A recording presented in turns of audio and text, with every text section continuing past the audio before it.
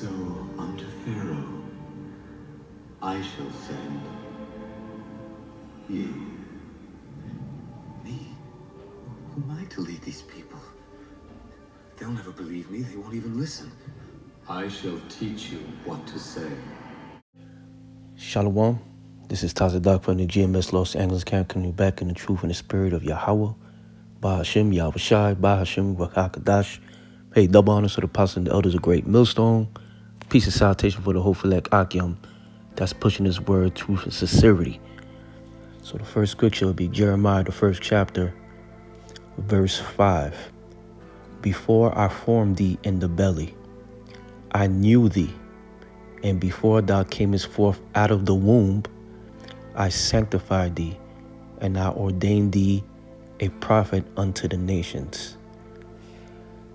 So, Ka'ala Yahbashim Yashai, just want to get on a topic that the Lord knew us when we in the womb, in our mother's womb. and he knew about us, man, even in the seed of our father, you know. But he knew it, and he sanctified us, and he ordained us to be a prophet. So we were meant from from when we was in that womb, we was meant to do this work. And, and I hope your brothers realize what you've been called for. Okay? You are more than what you think you really are. All right? A lot of people make make fun of us. A lot of people may not believe us, but we don't care. Okay? We out here because the Lord ordained us to be a prophet. So when you go to the word prophet, it, it simply means to say something before it happens. Okay? That's what a prophet is to say something, to say things before it happens. And that's what we've been doing week in and week out, rising early in the morning, doing our videos. This is what we do. This is why we stand out from the rest of the mere mortals that's out here on this earth. Okay? Why? Because I tell you this, you know, personally, and and and, uh, and all the brothers know, we fear Yahweh Bashim Yahushua. We fear the Lord, and we are afraid to do what's wrong. That's the difference between us and them. The them are the two thirds of our people, so-called Negro, Latino, Native Americans. They don't know what's right and from wrong. But guess what? We do. Even though we make mistakes and everything, but we are well aware of the mistakes we made. So we, you know, beg for forgiveness and, you know, and have our sins forgiven and, and show us mercy because we know we're not perfect. That's the difference between us and them. But it's our job and commanded by the Lord to be a prophet amongst the nations, man. All right. So there goes your, there goes um. You can't use no excuse that you don't have to be out there in the streets. You don't have to be out there to teach the people. We were commanded to do a specific job. Okay. We are watchmen. We on the watchtower. What? To compel our people and to warn our people. Okay. So. let's get with the scriptures, man. All right, because there's a specific commandment that the Lord Yahweh Shah, which you English call Jesus Christ, um, told Peter. All right, so let's get it out. This is Luke. All right, and this proof right there that we need to be out there feeding our people with wisdom, knowledge, and understanding, and warn them. Okay, doesn't matter if their feelings are hurt. Doesn't matter if they don't like it. Okay, so Let's get it. So this is John, the 21st chapter, verse 15. All right. And it reads, now listen carefully. And it reads, So when they had dined, Yahweh said to Simon Peter, Simon, son of Jonas, lovest thou me more than these? Right? That's a question. He said unto him, Yeah, yeah, Lord. He said, Yeah, of course, man. You know, anything for you, bro. You know, I'm just trying to make it like like you know for people to understand. He said yes, like, yes, I love you, man. Right. So let's continue read it. Um, Lord, thou knows that I love thee. He said unto him, Feed my lambs. He said to him again the second time, Simon, son of Jonas, love lovest thou me? So Yahweh shall ask Peter a second time, Do you love me? All right. And um and and we continue to read it. He said unto him, Ye Lord, thou knowest that I love thee. he said unto him, Feed my sheep. And he said unto him a third time, Simon, son of Jonas, lovest thou me? Peter was grieved because he said unto him the third time. So Peter got like, oh, come on, man, I just answered you twice. you know? But Yahweh was serious to him, you know, to make him get, to, to really know for him to get it, man. All right? And he said unto him, Lord, thou knowest all things. Thou knowest that I love thee. Yahweh said unto him, Feed my sheep. That's proof right there that what we have to do because the Lord ordained us to be a prophet. He knew us from the belly. He knew that we had to be doing this type of work.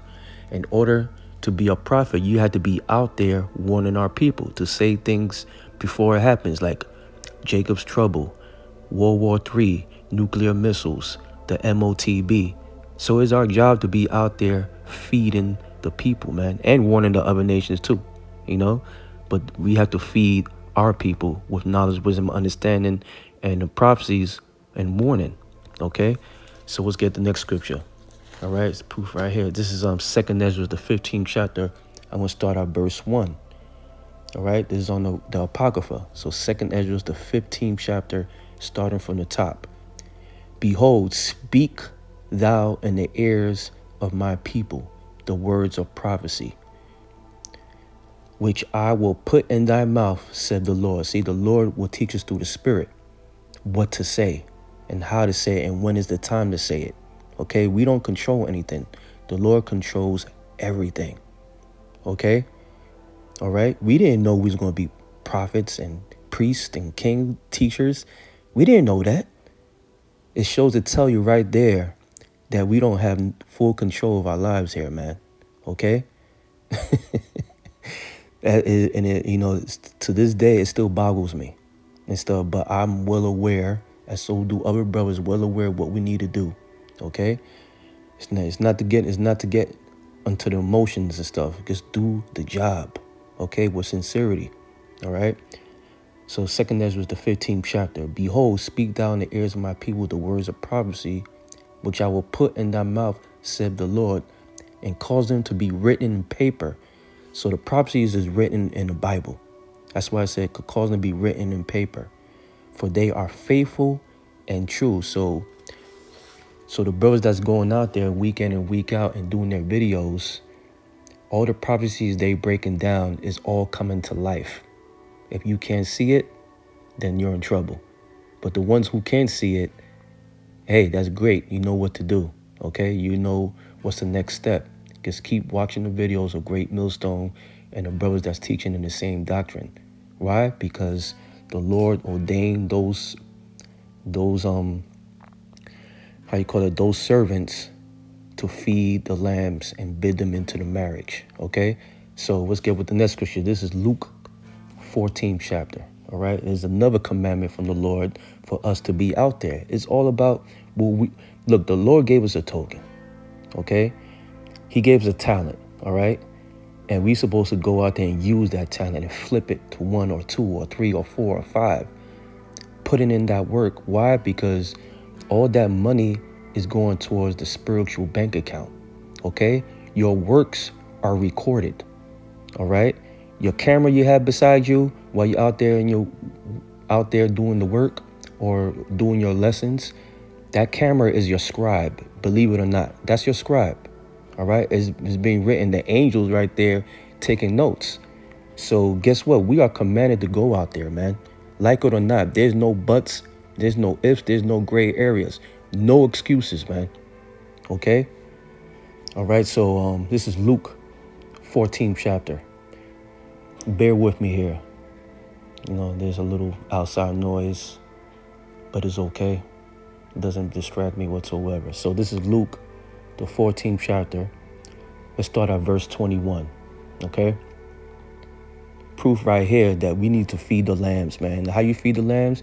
By going out there and do the work, man. Okay? All right, so Luke 14 and 21, and it reads, Here we go. Here we go. So that servant came and showed his Lord these things. Then the master of the house, being angry, said to his servant, Who's the master of the house? That's Yahweh Shai. We inly call Jesus Christ. All right.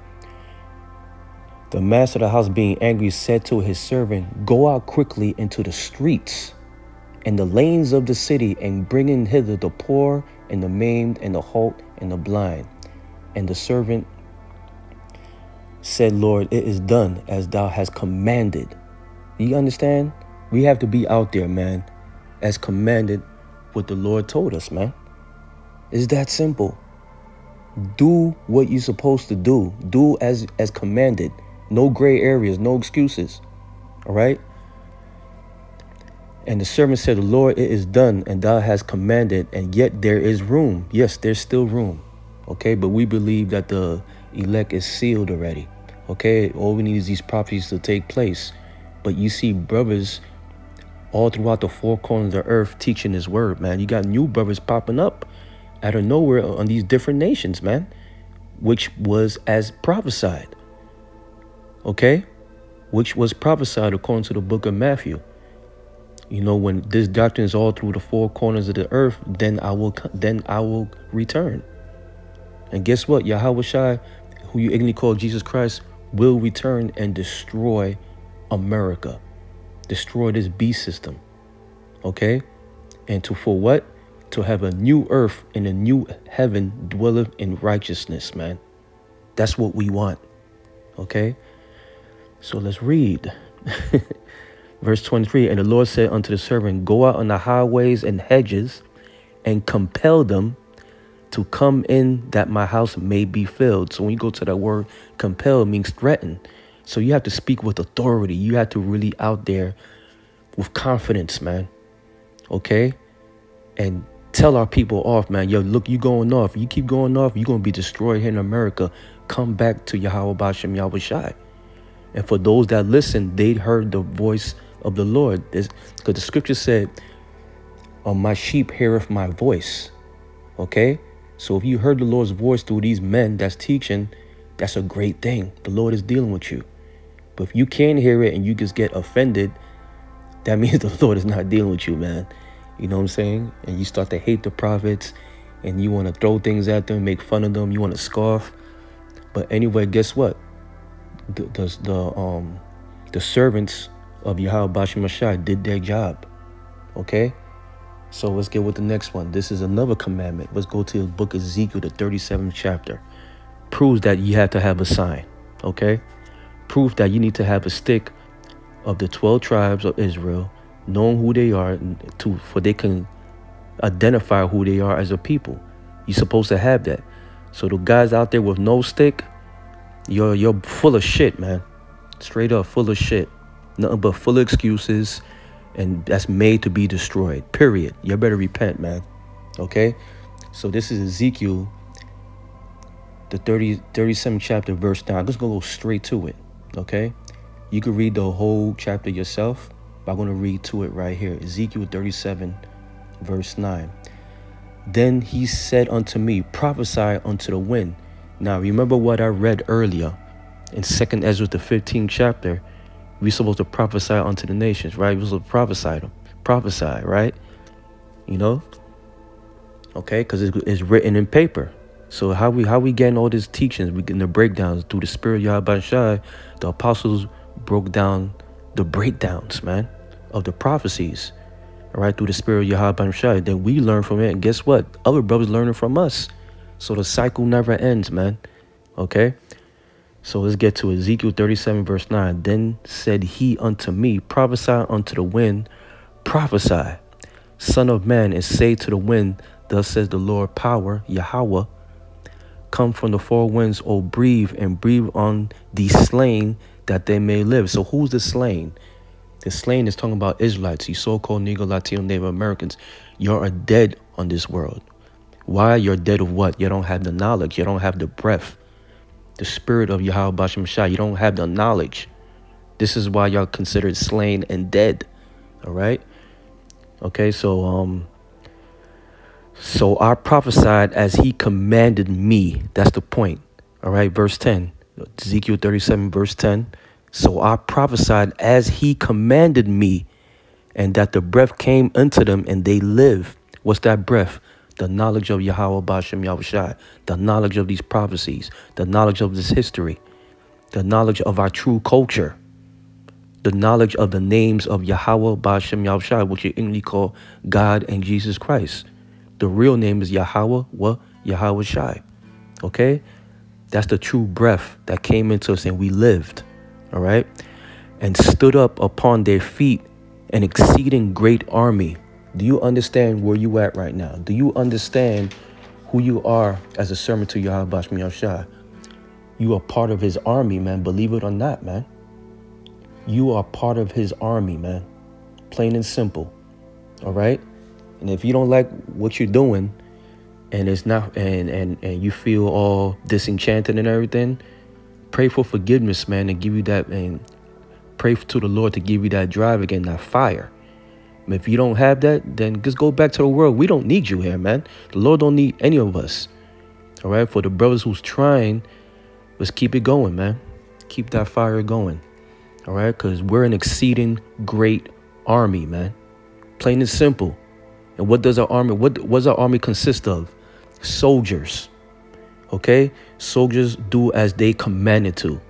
There's no questions, no buts, no ifs. You do as commanded. Okay. The ones who do the questions and the buts and the ifs, those are the disobedient soldiers who don't want to listen. Why? Because they into their feelings. Grow the fuck up, man. All right? Know where you at right now. Know who you are. All right? Repent, man. Because this, this, this, we're an exceeding great army. This is no joke. We at the end times right now. All right? The Lord's building his men up right now. Okay? So let's get the next scripture. This is Isaiah, the 58th chapter. Give you another command. All right. I'm getting tired of these excuses from these lames out here, okay? Which I call the the um the lazy sack of potatoes, man. All right? That has too much estrogen in their bodies. All right? So is Isaiah 58 verse 1. Cry aloud, spare not. Lift up thy voice like a trumpet. So what do you mean lift up thy voice like a trumpet? You got to speak with authority, man. You gotta, you gotta, you gotta raise your voice up, man, for people can under, for people can see, and and you're gonna get noticed real quick, right? But you have to speak the right things, not smooth things. Speak right things. We're not here to be smooth with anybody, okay? All right, we here to warn our people, man, as we are commanded in the streets. We supposed to be out there in the streets, do your videos. There ain't no shortcuts to this, man. Okay? Isaiah 58, verse 1 Cry aloud, spare not, lift up thy voice like a trumpet, and shew my people their transgressions. When you go to the word shew, you go to the go to word shew, it means attention, stand out, conspicuous, to inform, stand boldly. Okay? You have to, what did the scripture say? Um, the righteous stand bold as lions, right? So we're bold as lions out there teaching his word in the heat, in the cold, in the rain, in the snow. We're there, man, as we are commanded. Okay? Um, let's get ready. Let's finish, let's finish this and show my people their transgression and the house of Jacob their sins. So we gonna let our people know you're going off by celebrating these holidays, worshiping other gods, committing adultery, being a bunch of thieves, murderers, drug users, drug peddlers, you witches. Y'all gonna die here if you don't get your shit um straightened up, man. Okay? Come back to Yahweh Bashmashah as we commanded to do so to tell you, man. Okay? Acknowledge your sins, acknowledge your faults, and come back to the Father. All right? And if you don't, that's on you. We we did our job. Okay? So let's get with the next scripture. I'm gonna I'm gonna end it with this one. Um, this is um Jeremiah the seventh chapter, verse 25. This is another what we prophets usually do. Okay, so people make fun of us. Oh, you a prophet, man? Get the fuck out of here. See, people only look in a 3D lens. We look in a 4D lens. Okay, the people that's in a 3D lens, they they in the flesh. They have no idea. They think a prophet some they watch too many movies, man. Okay? They think this is Lord of the Rings, and no, it's not. A prophet is simply a servant that was chosen by Yahweh Bashim Yahushai to what? To prophesy unto the nation, to say things before it happens, to be that messenger. Okay? All right, so this is um Jeremiah the seventh chapter, verse 25, and it reads, um I got it right here. I'm going to end it with the scripture. Jeremiah, the seventh chapter, verse 25. And it reads Since the day that your fathers came forth out of the land of Egypt, unto this day, unto this day, how Deontay Wilder said it, unto this day, I have even sent unto you all my servants, the prophets, daily, rising up early and sending them. The key word is daily. Why? Because they daily warning our people for what's to come. They daily breaking down these prophecies, the proper breakdowns, and warn our people what's coming their way. So we doing the job as a prophet supposed to be doing, to say things before it happens. So with that, you know, I hope your brothers and sisters edified. Some of them Sarah told me to do this. it the the the idea popped in when when I was at the gym, man. Okay, it just popped in my head. So that's a that's a commandment from the Lord to put this lesson out. If you take it like that, that's what it is. All right, the spirit, man. That's how it moves. So I hope your brothers and sisters were edified. To another video, shalom.